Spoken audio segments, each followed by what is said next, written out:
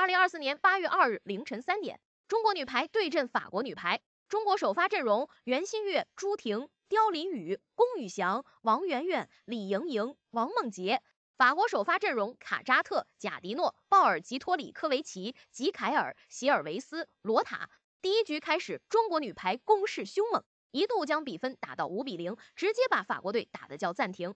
暂停过后，法国队似乎慢慢找到了节奏，从五比零打到九比七，法国队慢慢找到了自己的进攻结构。中国女排要稳住，双方进入到白热化阶段，比分来到十二比八，中国女排彻底沸腾了，法国队进攻程度丝毫不减，在疯狂追分。十五十、十六十一、十七十二，中国女排在今晚的攻势异常凶猛，法国女排都要招架不住。中国女排连得三分，二十十三，王媛媛漂亮的拦网得分。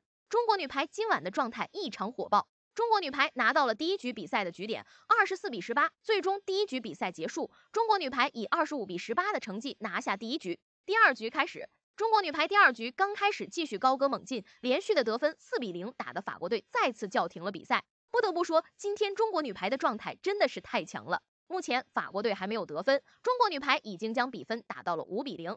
最后，法国队的连续两次换人，又在第二局逐渐找回了一点感觉，比分来到十比五，中国比分是大幅度领先。今天李盈莹和袁心玥两人的配合可以说非常完美，互相打出了几波漂亮的进攻。法国队的失误送分来到了十一分，在法国队的失误很多，又是龚翔宇和王媛媛的拦网成功，比分来到十五比七。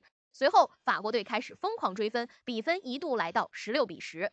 朱婷在面对法国的两人拦网，细节的从两人之间打开一丝缝隙，获得比分十九十四。随后中国队又是连续的得分，比分来到二十二比十四。这局感觉又要拿下了。不得不说，今天中国队的拦网状态真的是很好，特别是王媛媛和龚翔宇两人拦网到第二局为止已经拿到了五分了。好的，第二局比赛结束，比分是二十五比十六，大比分目前是二比零，中国队领先。第三局开始。中国队势头不减，一度将比分打到四比零。随后法国队开始反攻，比分来到四比二。中国队继续高歌猛进，五比二强势回应。还是要扣一下细节，保持自己的进攻节奏和优势。法国队开始反攻，一度将比分打到了八比六。法国队拦到了李盈莹的进攻，直接将比分打到了十比八。随后又是连续的得分，十比九。中国队叫暂停，商讨一下战术，找回状态。